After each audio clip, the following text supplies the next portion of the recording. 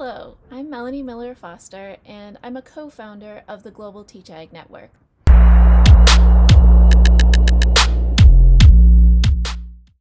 Today, I just want to spend a minute talking to you about where the idea of GLAG Creates came from. It all started in a hotel ballroom in Washington, D.C. You can imagine the setting.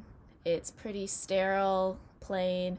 There's the room is filled with people wearing suits, and all of a sudden, a person um, comes to the to the microphone and reads a poem about his personal experience with food security, and everyone started to pay attention.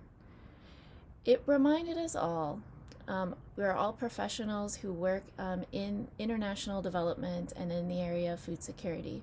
it just reminded all of us the seriousness of our work and how it impacts individual people.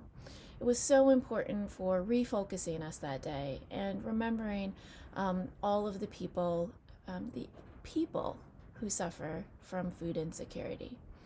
So um, that day, I uh, made sure to talk to Hiram Larew, who is the person that organized this poetry reading through his initiative um, called Poetry X Hunger.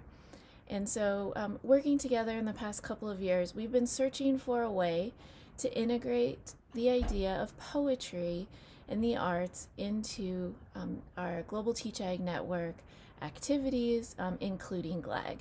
And so together, um, our team created GLAG Creates.